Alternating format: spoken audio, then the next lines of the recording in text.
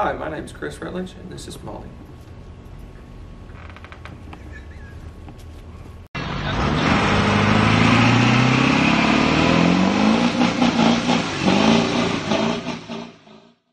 My name's Chris Rutledge with Complete Performance and CPAddict.com. And uh, today we're going to talk about the 2 inch Super Duty reverse shackle kit that we installed on, uh, on my dad's actual personal OBS truck.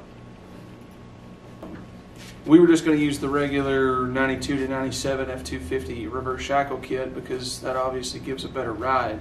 But we needed new front springs for the truck because, well, OBS Ford trucks have very crappy front springs usually. They, uh, they almost always need to be replaced.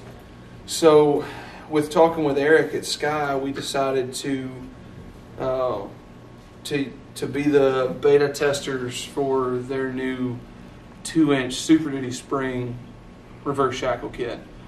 In the past, the only uh, Super Duty spring kit that uh, that you could get lifted the truck four inches. Well, Dad being Dad, he did not want a, a four-inch lifted truck on 35s, so this kit is actually perfect for that in the fact that it only levels the truck, being that it is a, a two-inch reverse shackle kit.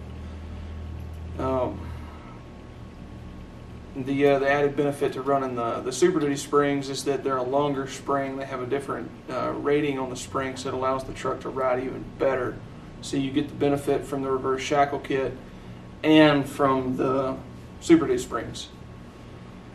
So that being said, we've kind of put together a video of, of the actual install of this setup, being the first one really tested in the real world, not not necessarily just in Sky's shop. Um, that being said, Sky makes some incredible products, and we had absolutely no trouble installing this kit and making this kit function like it should.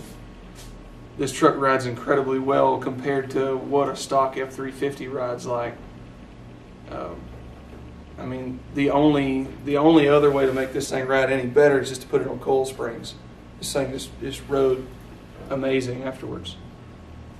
So basically, we put this truck together in a I don't know a couple weeks time span, getting it all prepared for the Carlisle All Truck Nationals, where a truck club that we're a part of puts on a uh, a big annual show.